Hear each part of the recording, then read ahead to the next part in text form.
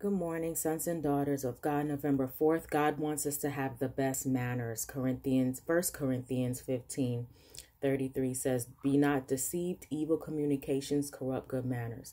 The religion of Christ never degrades the receiver, never makes him coarse or rough or uncourteous. There is much to do in order to fit us for the courts of the Lord. The roughness of spirit, the coarseness of speech, the cheapness of character must be put away or we can never wear the garment woven in the heavenly loom, the righteousness of Christ. Those who, under the education of Christ, make it possible to reach the highest attainments will take every divine improvement with them to the higher school.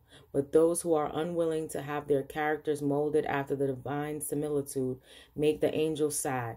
For by clinging, excuse me, to their sinful habits and practices, they spoil the design of God. Be polite to God and to one another. Remember that He wants you to have the best of manners that you may glorify Him before the world. He desires you to live in unity with one another and to love one another.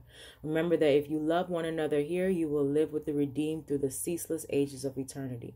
Selfishness and pride hinder the pure love that unites us in spirit with Jesus Christ. If this love is truly cultivated, finite will blend with finite, and all will center in the infinite. Humanity will unite with humanity, and all will be bound up with the heart of infinite love.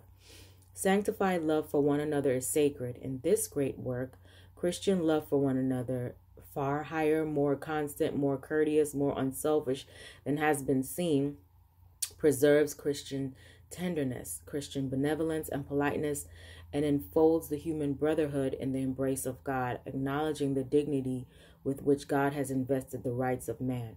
This dignity Christians must ever cultivate for the honor and glory of God.